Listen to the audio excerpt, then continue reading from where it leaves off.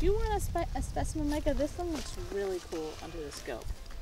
Visiting Naturalists in the Schools program started 14 years ago, in 2004. And it was a response to um, the Montana Natural History Center doing a lot of one-off programming and going into the classroom or going out in the field for a day with students. And we felt like that wasn't enough um, to really see a change or have an impact in our community. So we started bringing naturalists in the classroom once a month for the full school year.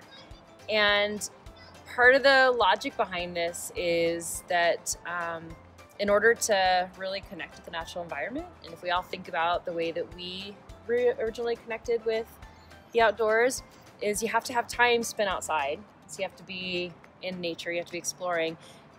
But it's pretty important to have an adult mentor who fosters that interest and um, encourages you to get outside, goes outside with you, shares in that excitement and that discovery. Hi, I'm Sophia Lewansky, and when I started the VNS program, I was in fifth grade at Dayway Elementary. So the lessons that Drew started teaching were related to ornithology in a way at least. Um, and then we started learning about mammals and everything, but I was really, really interested in the bird part. When we started this program, we only had about 20 classrooms, and now we've grown to 70 classrooms. And we are sending naturalists all the way down to Hamilton, and we're sending naturalists north to Polson, and they're heading out to Alberton, um, heading into Bonner and out to Potomac. And it's pretty exciting to see all of these schools in our region and to see how, um, how much we've been able to spread the program throughout the region. And so now rather than having just one visit that they come in for, we go in every single month of the year and they really get to know the teachers. They really get to we get to know the kids and we get to value their experiences and also see them grow and help them grow throughout those experiences throughout the year.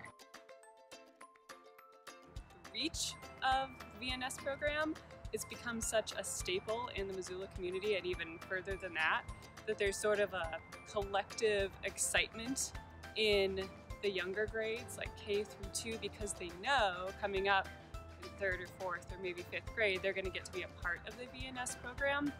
So that's one area that as a classroom teacher is really important. It's just creating that something to look forward to and it's almost become a kind of rite of passage for the older grades.